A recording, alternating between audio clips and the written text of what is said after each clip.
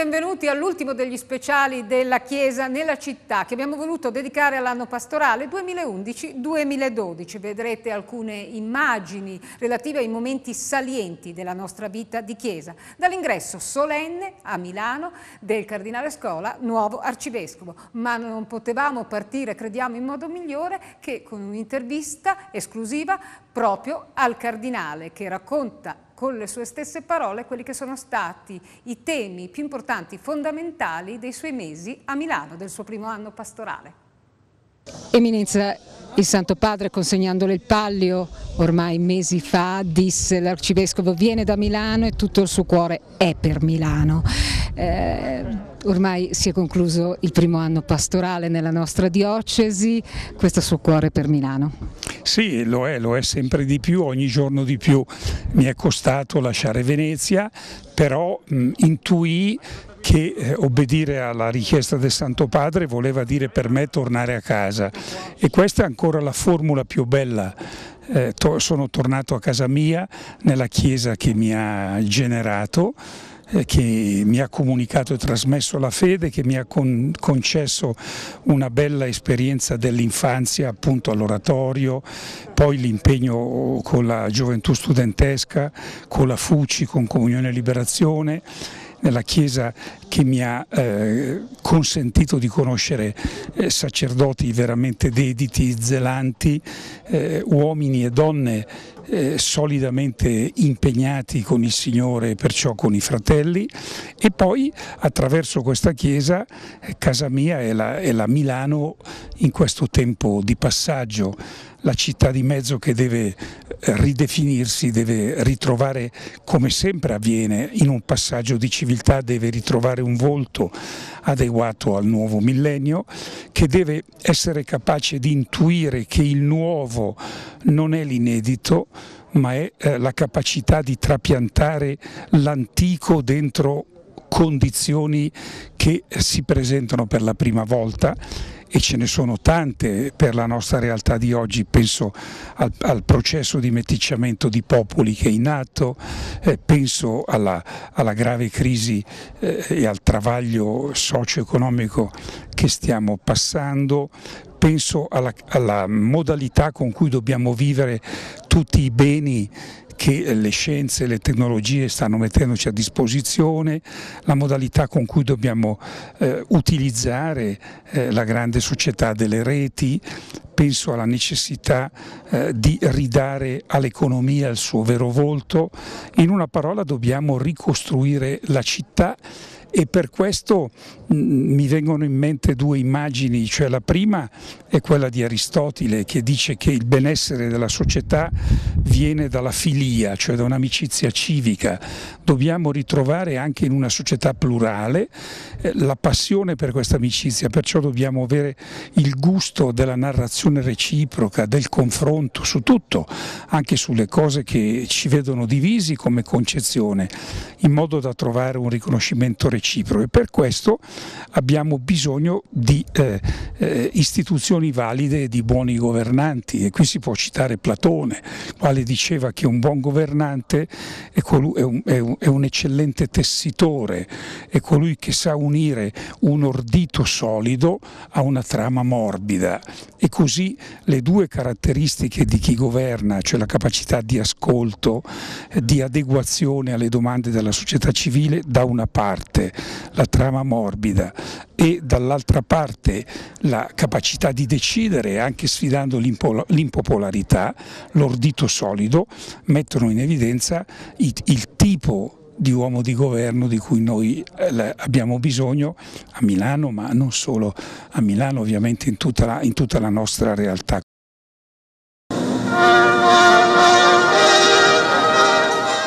Riflessione per l'edificazione di una città giusta, il richiamo alla centralità di Cristo, roccia su cui costruisce l'uomo saggio, e la crisi che è anzitutto culturale, frutto dello smarrimento del vivere. E ancora quello bisogno di voi che segna anche la solennità del pontificale in un duomo gremito. È la giornata attesa dell'ingresso in diocesi del cardinale Angelo Scola, che culmina appunto nella celebrazione in cattedrale, dove il cardinale arriva dopo i momenti di Malgrado, il suo paese natale, in cui mostra già per intero la sua grande umanità, dialogando con i più piccoli piccoli, ma il pensiero va anche ai soli, ai malati, agli anziani. Poi, come tradizione, la sosta, qui incontra il sindaco Pisapia, nella Basilica di Sant'Eustorgio, primo luogo della cristianizzazione di Milano.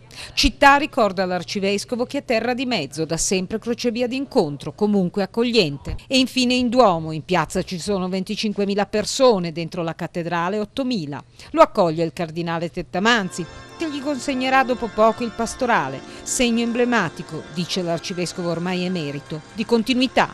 Cita infatti Scola il predecessore Montini e la missione di Milano e richiamando il settimo incontro mondiale delle famiglie del 2012 indica alla diocesi la riflessione comune dei prossimi mesi. Il significato dell'uomo-donna, del matrimonio, della famiglia, della vita, la condivisione magnanima e perciò equilibrata delle fragilità, delle forme di emarginazione, del travaglio dell'immigrazione. Poi ringraziamento nel ricordo di una piazza del Duomo anni 60, animata, luogo di discussione spontanea. Ora i tempi sono diversi, ma il valore di questo stile democratico rimane secondo me inalterato. E ormai al tramonto, dopo il significativo saluto anche ai tanti rappresentanti di altre confessioni e religioni, proprio la piazza in festa, che applaude e acclama un arcivescovo sorridente. Milano è e può essere sempre di più un'oasi da realizzare con un'opera comune e il coinvolgimento di tutti. Il cardinale Scola incontra come secondo appuntamento con le realtà sociali il mondo della cultura e della comunicazione al Museo Diocesano e il suo è un intervento puntuale, attento all'oggi e giocato in prospettiva, anche se parte da ricordi personalissimi e lontani della città, quelli visti con gli occhi del bambino Angelo. Milano mi ha sempre citato la fantasia, dice. La prima cosa che voglio dire è che è giusta la parola eh, ritorno per me dopo tanto girare, tanto pellegrinare. E d'altra parte la serata insieme molto informale e serena, aperta dal vicario episcopale per la cultura, Monsignor Franco Giulio Brambilla. Il cardinale ride quando Giacomo Poretti, del famoso trio, gli racconta la sua Milano poetica. Ascolta quando lo scrittore Palazzoli parla di via Padova multietnica e vivacissima e del rischio che occorre accettare.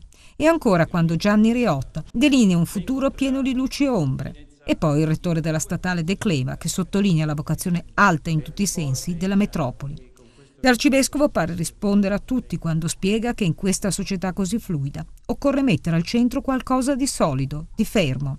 Non abbiamo altra strada per porre qualcosa di solido su cui costruire, per camminare che eh, non sia l'insieme.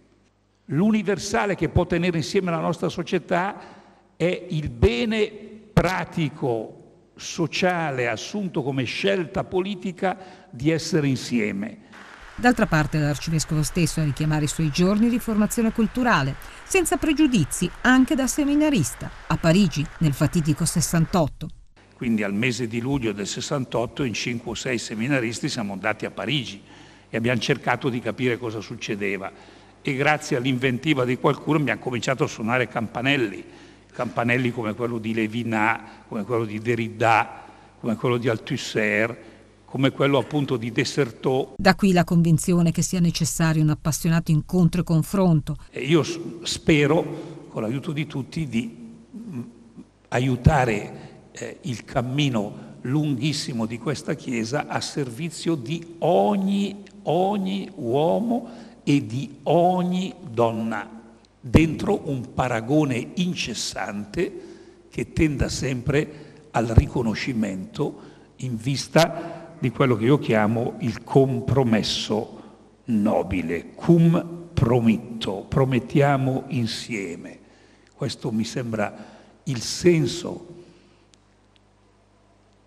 del vivere ecclesiale con le debite distinzioni civili e questo, eh, secondo me, fa già di Milano un'oasi. Dalla crisi si esce solo insieme. Sì, la crisi economico-finanziaria che chiama tutti a una rinnovata responsabilità, a fare di più, ma sapendo che chi ha il compito istituzionale di imporre sacrifici dovrà farlo con criteri obiettivi di giustizia, che non si misurano solo con la crescita del PIL. Il cardinale Scola pronuncia il suo primo discorso alla città davanti alle massime autorità locali a oltre 140 sindaci del territorio e lo dedica, forse non potrebbe essere altrimenti, appunto alla crisi, che definisce comunque in un senso più ampio. A mio giudizio la crisi del momento presente chiede di essere letta e interpretata in termini di travaglio e di transizione.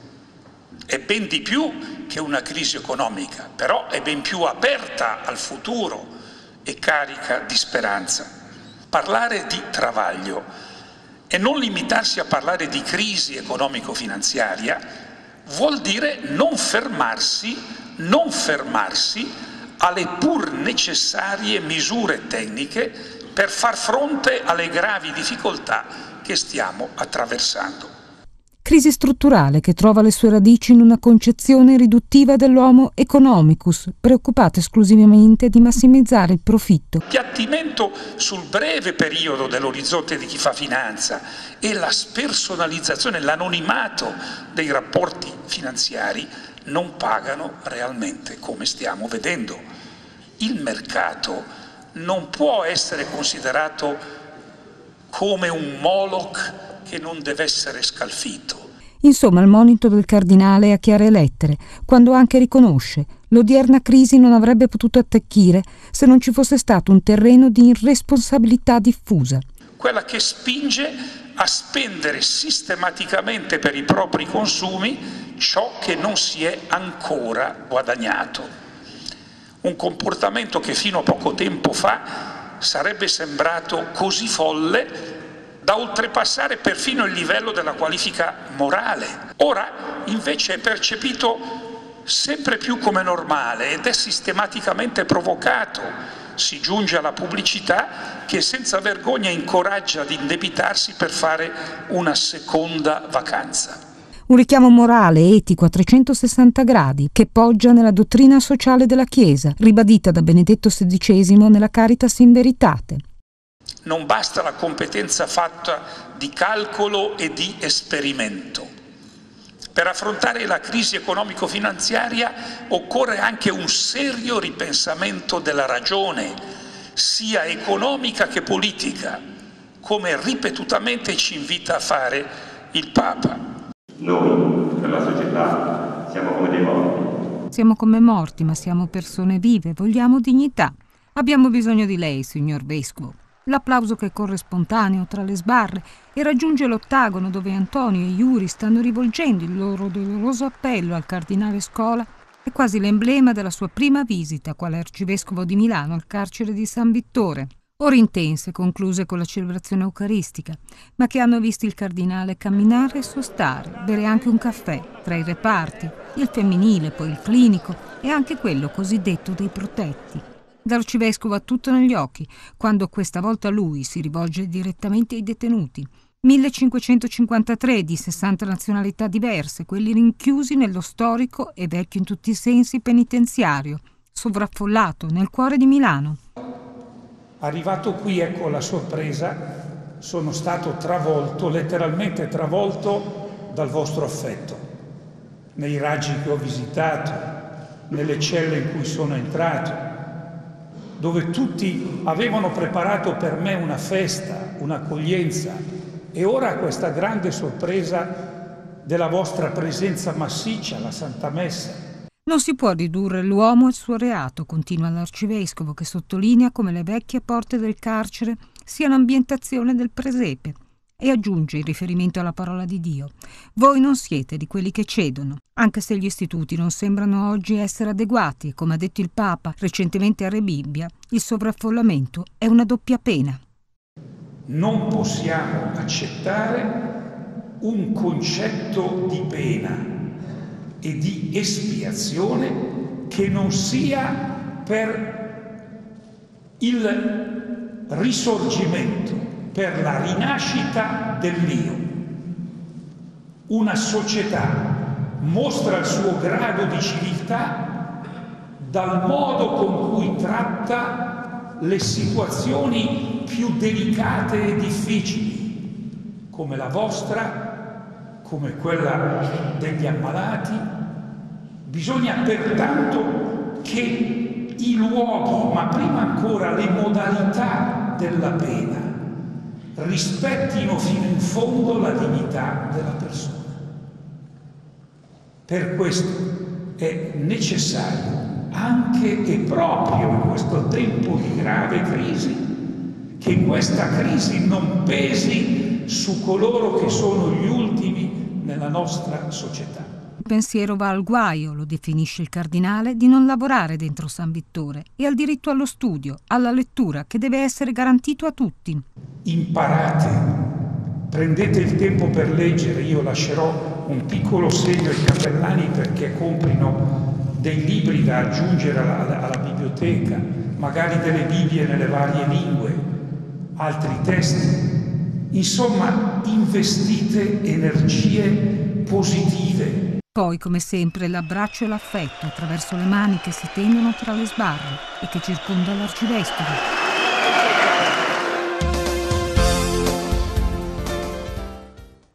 Ritrovati ancora con il nostro speciale. Vedrete adesso i mesi del 2012, dalla prima catechesi quaresimale in Duomo al lavoro, alla crisi, i giovani e poi una delle visite sul territorio compiute, una delle tante dall'Arcivescovo, proprio per l'importanza che sappiamo egli annette a questa attività sua pastorale. Infine i Preti Novelli 2012.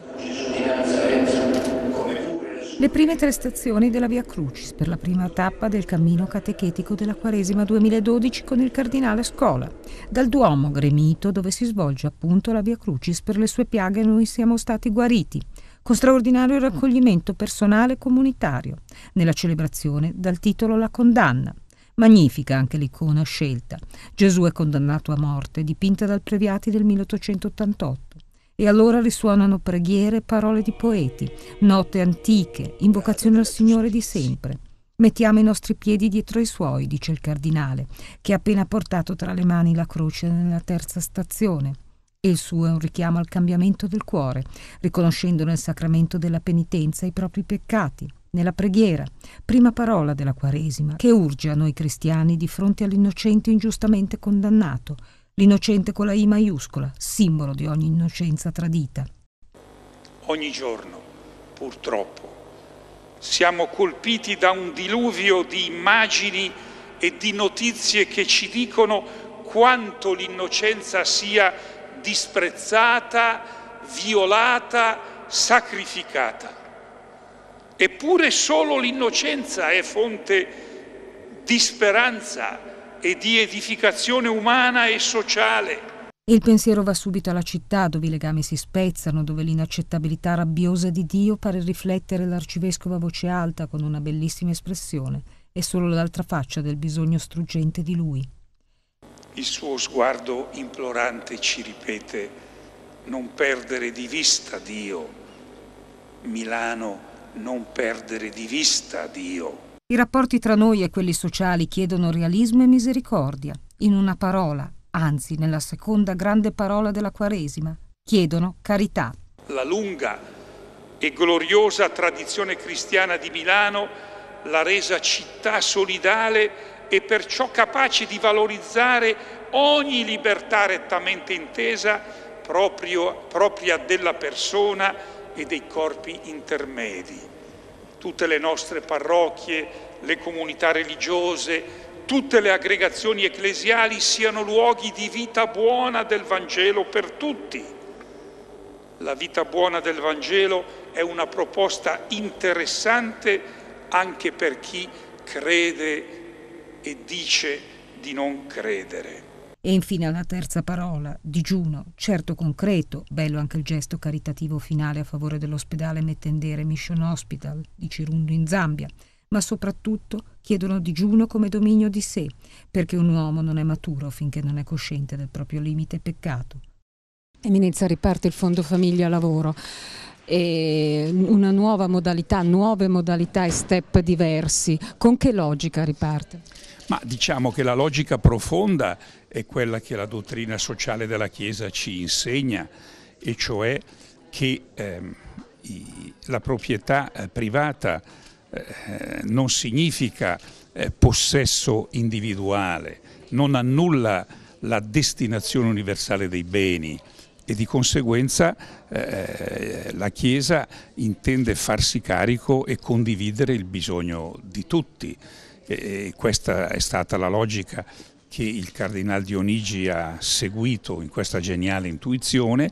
In questa seconda fase i collaboratori eh, della Curia hanno messo a tema, secondo me intelligentemente, eh, un adeguamento delle modalità anche in considerazione del fatto che la crisi che eh, si pensava a più breve termine è ancora profonda e radicale e si sono cercate forme più eh, rispondenti alla fase attuale della crisi.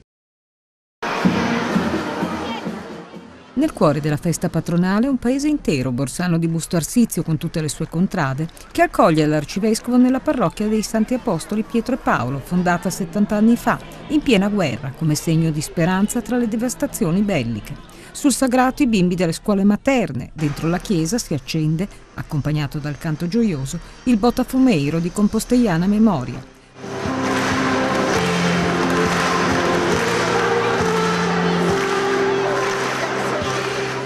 Poi, in ricordo del martirio, prende fuoco la sfera. Insomma, la celebrazione solenne, come giusto che sia. Il cardinale lo nota, saluta la comunità fatta di pietre vive, ricorda il senso di vivere insieme il giorno del Signore e scandisce.